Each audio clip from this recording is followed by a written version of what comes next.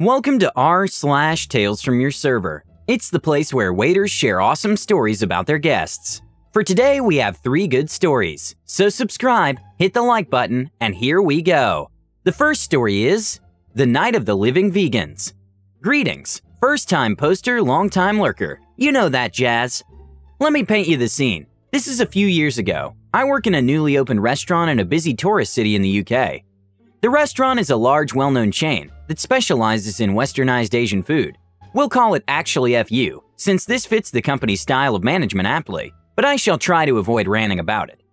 We are the flagship restaurant of our region. As such, we often play host to special marketing events. In this case, the company has just launched its new vegan menu, and it's eager to pimp it out to the locals, since we have a very big vegan community in the city. We are chosen to host a special night in which a number of vegan bloggers Instagrammers, various influencers, and local vegan celebrities will be attending.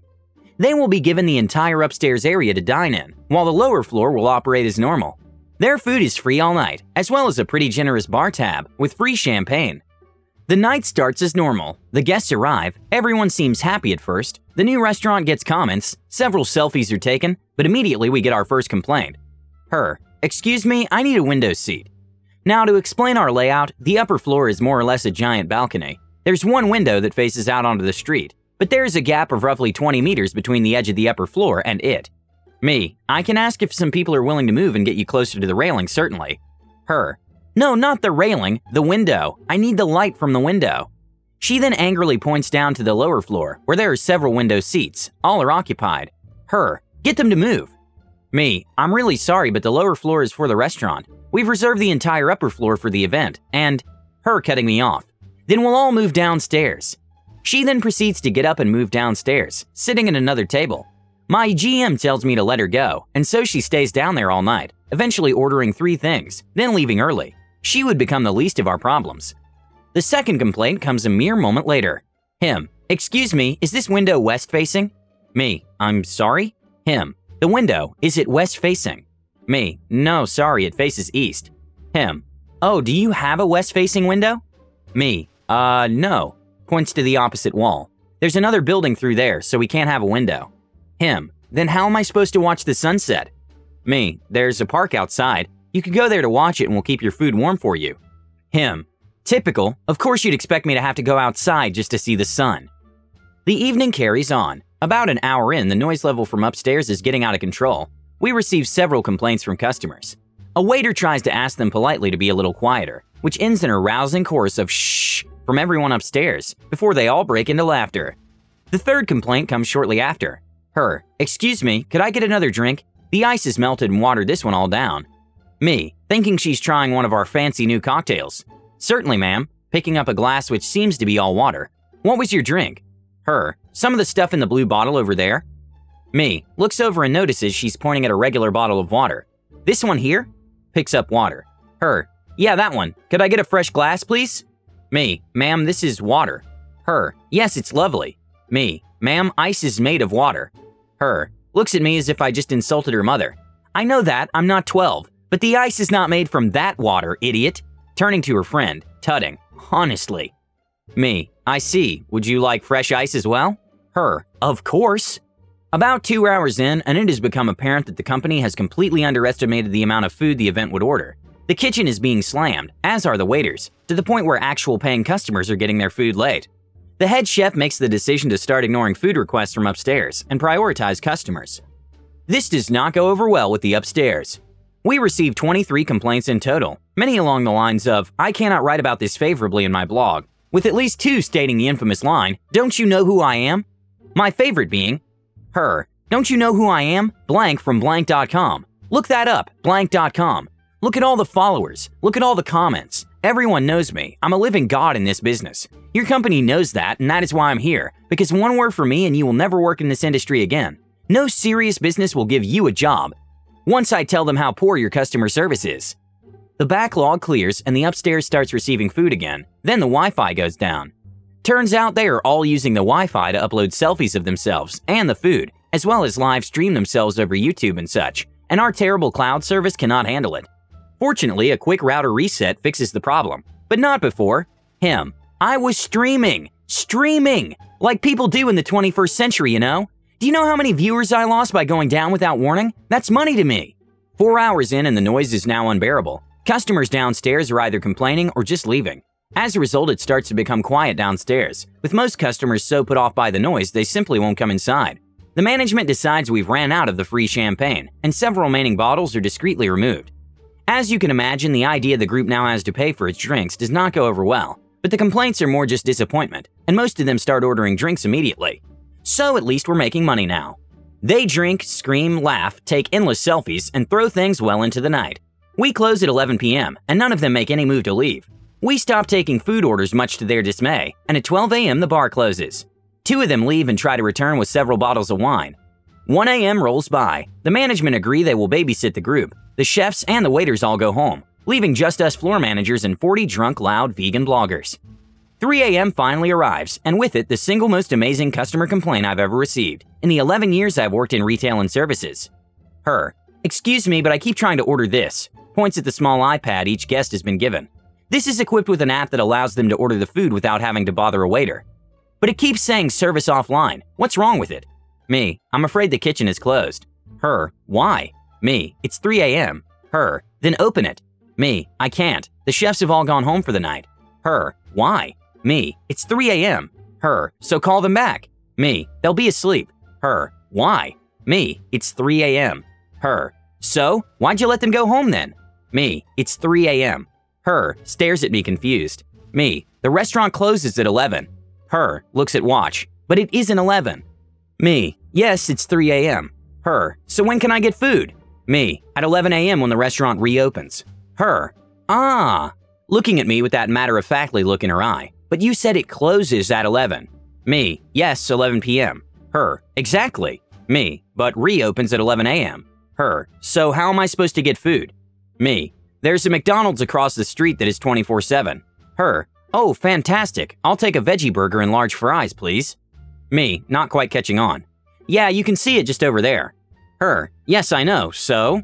Looks at me expectantly. Me, I'm not going to McDonald's for you. This does not go over well. The woman rises from her seat, a look of pure thunder on her face. Now, I should point out that this is by no means a small woman. She has considerable dimensions in both the X and Y axis. As she stands, her mask knocks over the table.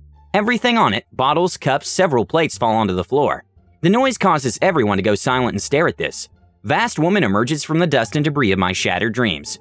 Her, shouting, I was invited here to your corporate BS party to enjoy myself.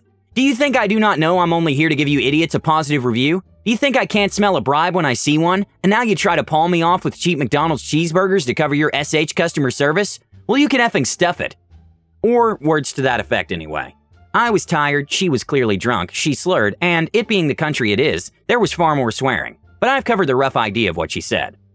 She eventually storms off, stumbling but refusing any help from the management staff or the rest of the group to help her down the stairs.